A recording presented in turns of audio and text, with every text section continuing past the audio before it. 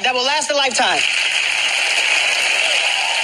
First step in a fishing caddy is dipping in water, adding up to 30 pounds of water weight for stability. It features a padded seat or a tackle box so you got a place to sit. Has built-in adjustable rod holders that adjust up to 180 degrees. The rod holders are closer to you so you can sink the hook quicker and ultimately boost your chances of landing more fish.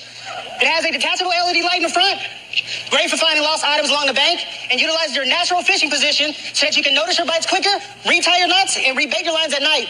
Features a padded handle for comfort, and it even has a cup holder for your favorite beverage. Love drinking when I'm fishing. Last one. Grab your fishing caddy when you're ready to move spots or go home. Tilt it forward, releasing the water on the inside, making it lighter for transport with your fish safe inside. With your help, Thunderdome, we'll have everybody in the nation saying, get your daddy a fishing caddy. Let's go.